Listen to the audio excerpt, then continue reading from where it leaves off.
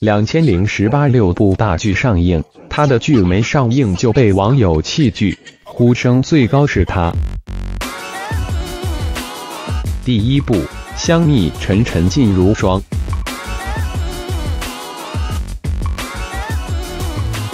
《香蜜沉沉烬如霜》是一部古装神话剧，由朱瑞斌执导，主要讲述了锦觅、杨紫、是与旭凤、邓伦、是几世轮回的恩怨痴缠，守望几千年的绝世之恋。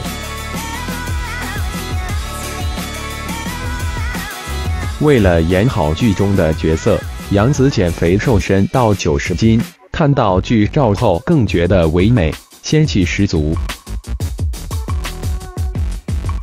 第二部《锦衣之下》，《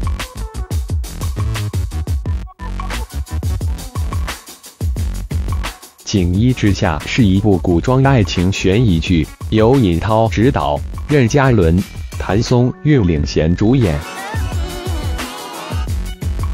该剧根据蓝色诗的同名小说改编。讲述了奸臣当道的明朝嘉靖末年，锦衣卫陆毅奉命调查扬州修河款失踪案，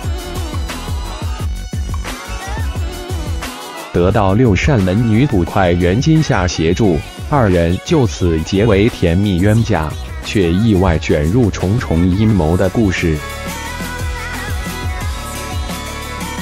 这部剧已经杀青了，但是还没有播出。不少观众看到了谭松韵的造型后，也是纷纷表示要弃剧啊！因为谭松韵的古装确实不是很好看的，因为古装美人还是需要鼓励娜扎那个样子的，谭松韵的戏路和颜值都不太适合。不少网友还表示要弃剧了，就因为谭松韵的造型。不过，小编觉得这个造型还可以啊，你们觉得这个造型很差吗？第三部《天机之白蛇传奇》。《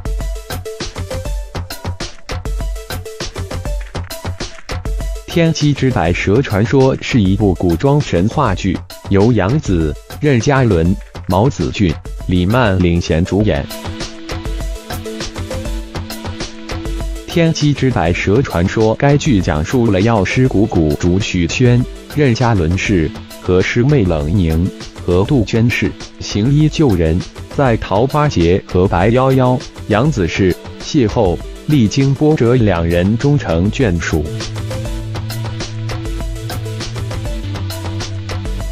第四部《赢天下》八清传。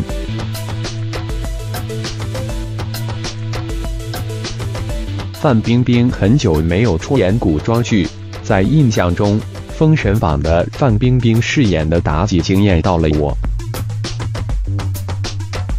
还有《武媚娘传奇》杨贵妃，虽然范冰冰一直都很美，但她饰演的锦毛鼠是我认为的颜值巅峰，巨美。《八清传》是一部古装传奇剧，由范冰冰。高云翔、严屹宽、马苏等领衔主演。《赢天下》自开拍时就引来不少的关注，据悉这部剧也是大制作，投资了不少，光是看演员阵容也是一目了然。该剧讲述了战国末期八氏三姐妹在家道中落、被贵族驱逐后，八清意外卷入了咸阳宫政治漩涡中，以弱女子之身一步步走入大秦上层，最终成就传奇人生的故事。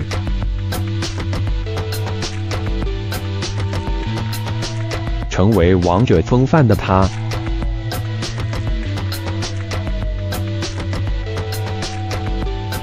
第五部《扶摇》，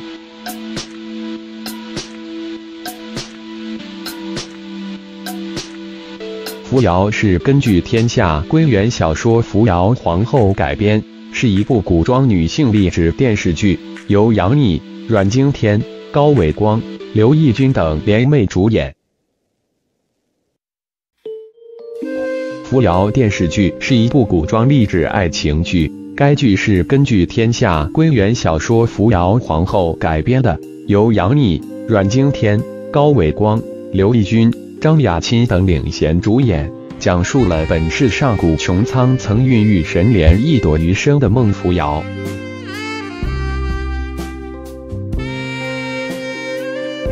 为收集五洲密令，前往苍穹，踏上了五洲历险之路。并与无极皇城太子长孙无极相识相爱的传奇经历。第六部《知否知否，应是绿肥红瘦》。知否知否，应是绿肥红瘦，是由赵丽颖、冯绍峰、朱一龙、施诗、张嘉明、曹翠芬等主演的古代社会家庭题材电视剧。有赵丽颖的剧就是收视爆炸哇！